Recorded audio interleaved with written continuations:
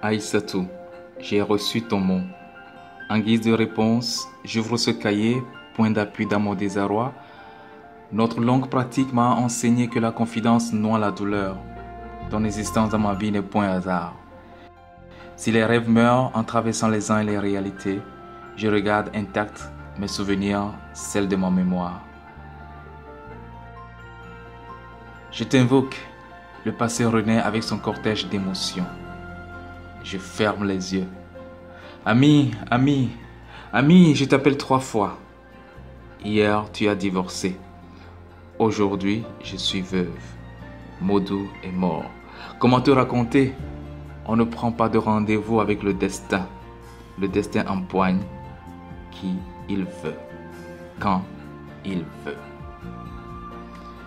Telles sont les premières phrases de si longue lettre. Une si longue lettre, le premier roman de l'écrivaine sénégalaise Maria Maba, aborde le statut des femmes au Sénégal et plus largement en Afrique de l'Ouest. Publié pour la première fois en 1979, il s'agit d'un roman épistolaire où Ramatoulaye Fall raconte à Aïssatou, son amie de longue date, son veuvage et sa vie de femme et de mère. Aux événements de sa vie se mêlent ceux de son ami Aïssatou. Avant de vous livrer le résumé, partons à la découverte de la vie de l'auteur. Mariamaba est née le 17 avril 1929 à Dakar, dans une famille aisée, et meurt dans la même ville le 17 août 1981. Elle est issue d'une famille musulmane et a milité pour une meilleure prise en compte des questions féminines. Après la mort prématurée de sa mère, elle est élevée par ses grands-parents dans un milieu musulman traditionnel. Son père, Amadou Ba, est devenu ministre de la Santé du premier gouvernement sénégalais en 1957. Titulaire d'un diplôme d'enseignement en 1947, elle a eu neuf enfants issus de trois mariages. À la suite de son expérience du mariage, Mariama Ba s'engage pour nombre d'associations féminines en prônant l'éducation et les droits des femmes. En 1979, elle publie aux Nouvelles Éditions africaines son premier roman, Une si longue lettre, dans lequel la narratrice Ramatoulaye utilise le style épistolaire pour faire le point sur sa vie passée après la mort de son mari. Ce livre manifeste l'ambition féminine africaine naissante face aux traditions sociales et religieuses. Dès sa sortie, le roman connaît un grand succès critique et public. Il obtient le prix Noma de publication en Afrique à la foire du livre de Francfort en 1980. En plus d'une si longue lettre, Mariamaba promeut les droits des femmes, particulièrement des femmes mariées. Elle prononce des discours et elle a écrit des articles sur la vie des femmes, notamment sur celles dont la vie était défavorisée. Pionnière de la littérature sénégalaise, elle meurt peu après d'un cancer avant la parution de son deuxième roman, Un chant écarlate, qui raconte l'échec d'un mariage mixte entre un Sénégalais et une Française du fait de l'égoïsme de l'époux et des différences culturelles. Voici le résumé de Une si longue lettre. À la mort de son mari, Ramatoulaye se jette sur un cahier et y écrit cette longue lettre adressée à son ami Aïssatou installé aux États-Unis. Revenant sur les péripéties de leur longue amitié, elle en profite pour décrire les défis de société que traverse l'Afrique actuelle, déchirée entre tradition et modernisme.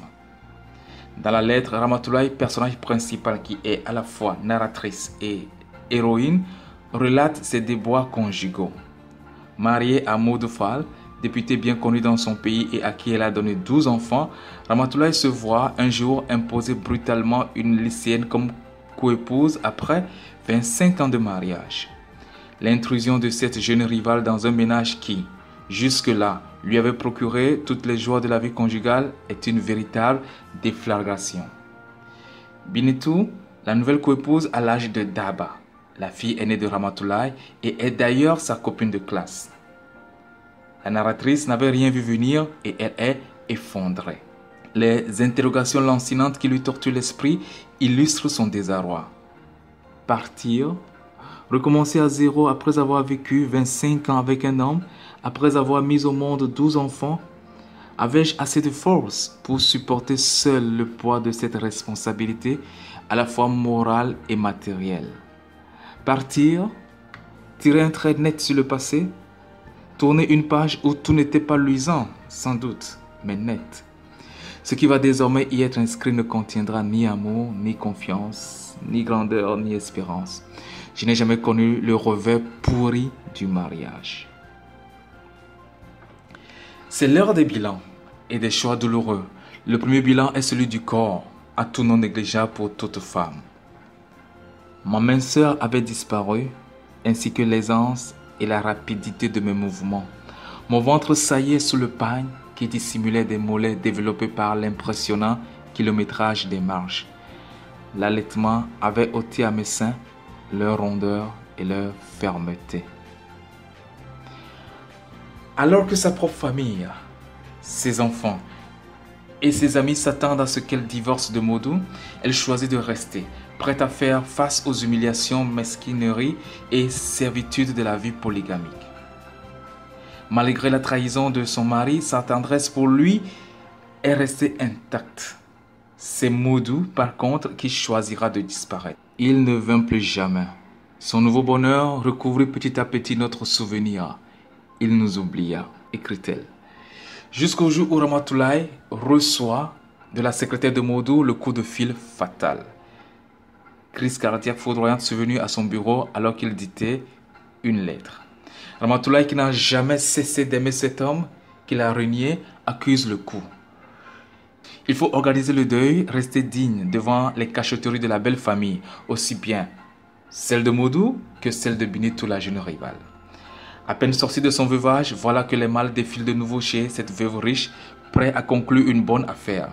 C'est d'abord le frère aîné de Modou qui s'accroche à la coutume et veut hériter de la femme de son frère alors qu'il n'arrive pas à nourrir ses trois épouses ainsi que leurs nombreuses progénitures.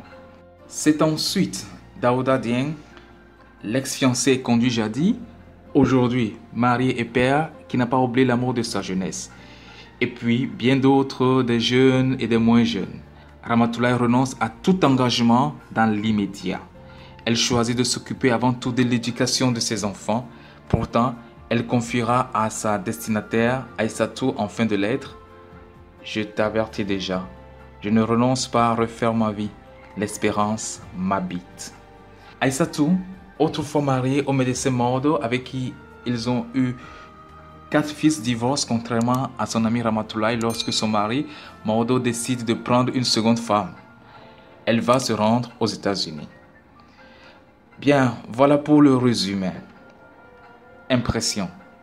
La première impression que laisse le livre de Mariam Abba, c'est l'extrême sensibilité avec laquelle l'auteur aborde les problèmes sociaux du Sénégal et de l'Afrique moderne. L'auteur a été elle-même mariée et divorcée, et sait donc de quoi elle parle. Ramatoulaye dira à Daouda Tu crois simple le problème polygamique Ceux qui s'y meuvent connaissent des contraintes, des mensonges, des injustices qui alourdissent leur conscience pour la joie éphémère d'un changement. Quant aux relations entre l'homme et la femme au sein du couple, l'héroïne Mariamaba est très claire. Je reste persuadé de l'inévitable et nécessaire complémentarité de l'homme et de la femme. L'amour, si imparfait soit-il, dans son contenu et son expression, demeure le joint naturel entre ces deux êtres.